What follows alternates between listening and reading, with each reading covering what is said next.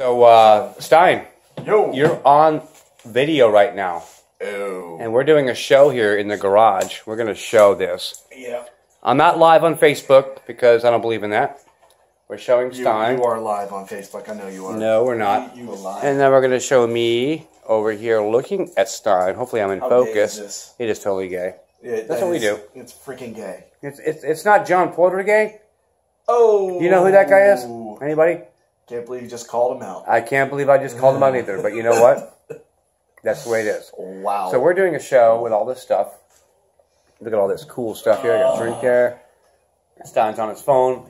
And well, uh, I got to keep do you have any wacky news going on? I mean, you have any news? You have any? uh, news is is that uh, What do you Donald think- Trump is now our president. yes, I knew you were going to bring Did that you, up. Did you? I see, really didn't you- want that to happen. watching? Have you Have you been watching? Of course, I haven't been watching. the the protests since they couldn't protest during the inauguration uh, what do you call it? Um, the protesters started protesting so they trying to get to the parade route. Mm-hmm. so they were using tear gas all kinds of stuff Mm-hmm. out there and uh, just couldn't believe it. I was like really people?